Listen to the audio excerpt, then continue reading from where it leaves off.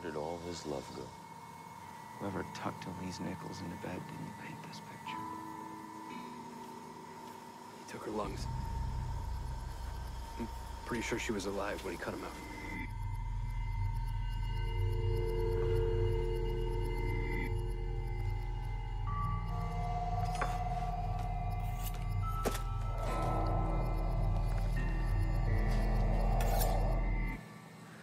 Our cannibal loves women.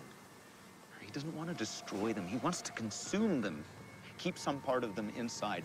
This girl's killer thought that she was a pig. You think this was a copycat? The cannibal who killed Elise Nichols had a place to do it and no interest in, in field kabuki. So he has a house or two, or a, a cabin, something with an antler room.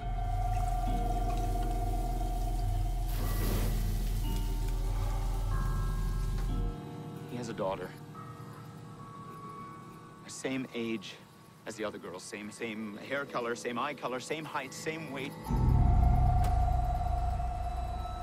She's an only child. She's leaving home. He can't stand the thought of losing her. She's his golden ticket. What about the copycat? You know, an intelligent psychopath, particularly a sadist, very hard to catch. There's no traceable motive. There'll be no patterns. He may never kill this way again.